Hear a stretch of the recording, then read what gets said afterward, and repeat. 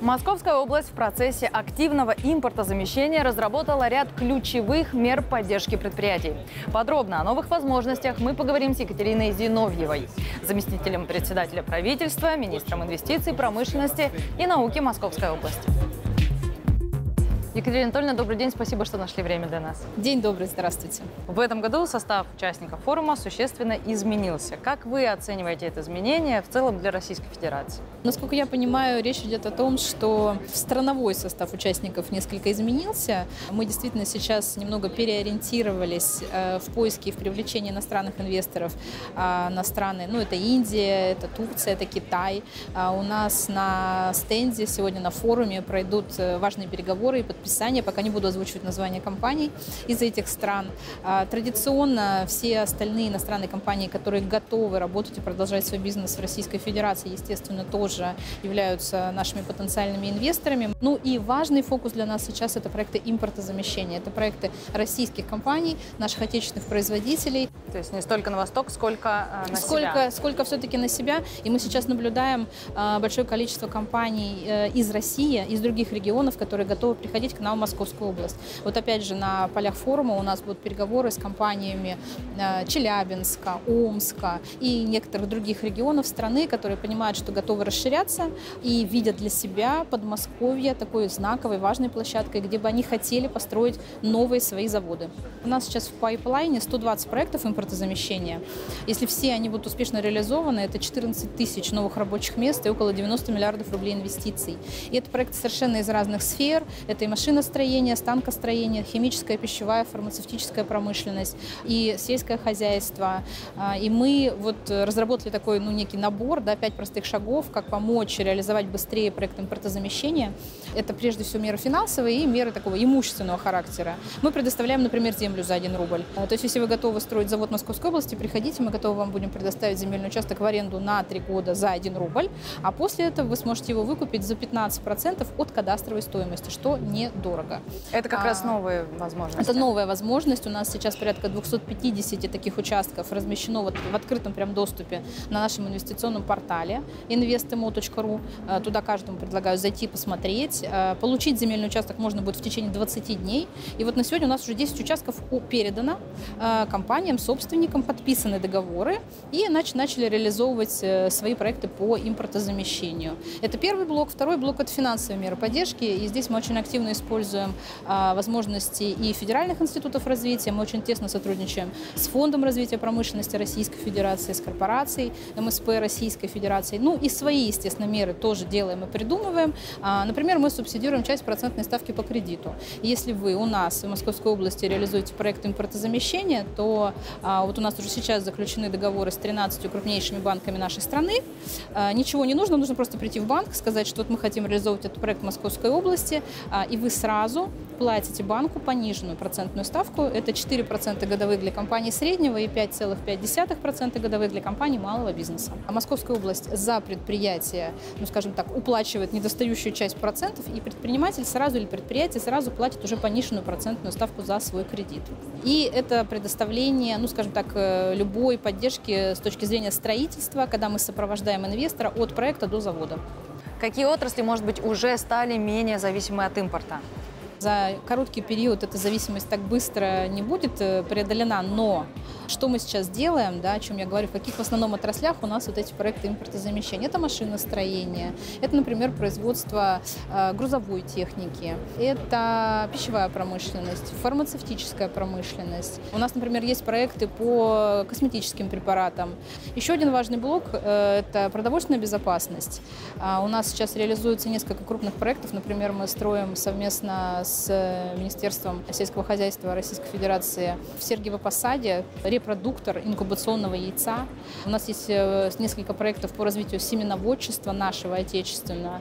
Два проекта Августа Щелкова Агрохим. Э, коллеги занимаются производством средств защиты растений, гербицидов. А, Все это было импортируемо. И сейчас нам очень важно максимально быстро эти проекты реализовать. Многие зарубежные компании ушли с российского рынка, закрыв свои производства. Рассматривается ли возможность передачи их активов в области? Ну да, у нас четыре компании, которые уже сейчас перешли э, в собственность либо инвесторов из России, ну, это всем известная компания Макдоналдс. Говорю у нас, но она в целом в стране работает. Открылась, произведен ребрендинг, э, компания Оби, э, компания Валио ее купила подмосковная же группа компаний Welcome, и небольшое производство Стора Энса, это картон, упаковка, его приобрел, значит, менеджмент этой компании. То есть вот пока у нас четыре кейса, они все завершены значит, успешной передачей новому собственнику. А какую долю в экономике Подмосковья занимали иностранные инвестиции? Если говорить в целом об объеме инвестиций в основной капитал в новые производства в Подмосковье, то это каждый год, вот на протяжении уже последних трех лет, более одного триллиона рублей. Вот прошлый год мы закончили, несмотря на пандемию, несмотря на постпандемийный год, триллион 144 э, миллиарда. А, и мы держим эту планку несколько лет, и этот объем не снижается. Вот если говорить об иностранцах, то, ну вот, например, в прошлом году это был 61 инвестиционный проект, объем инвестиций порядка 50 миллиардов рублей. Много это или мало? По сравнению с триллионом это немного. Но, конечно, это все-таки были достаточно прогрессивные проекты, да, это эффективные, высокоэффективные компании с современными технологиями, с высокооплачиваемыми рабочими местами. Но это не триллион. Какие меры поддержки сегодня Московская область и ваше министерство предлагает э, тем предприятиям, которые пытаются работать в новых условиях? Ну, это традиционный пакет налоговых стимулов и налоговых льгот. А, вы знаете, что у нас работают пять особых экономических зон. А, это, соответственно, статус резидента ОС. Это налоговый э, проект, э, региональный инвестпроект, э, льгота по налогу на прибыль, по налогу на имущество. А, мы в этом году снизили планку по упрощенной системе налогообложения для IT-компаний.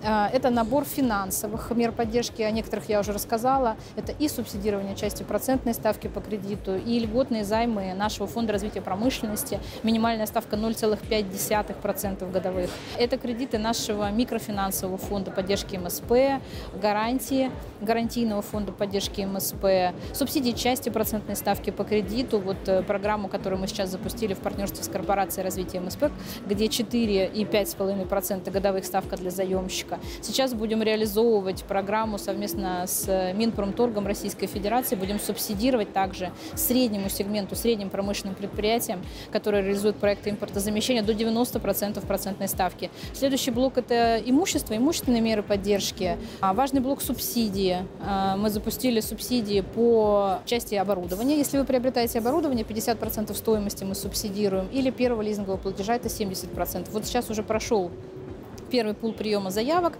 на 550 миллионов рублей, около 200 э, предприятий, получателей уже отобраны, они сейчас получат свои субсидии. Давайте поговорим про цифровые промышленные коворкинги для бизнеса. Насколько это сейчас востребованный формат среди предпринимателей? Э, у нас в Подмосковье реализован новый формат, так называемый Light Industrial.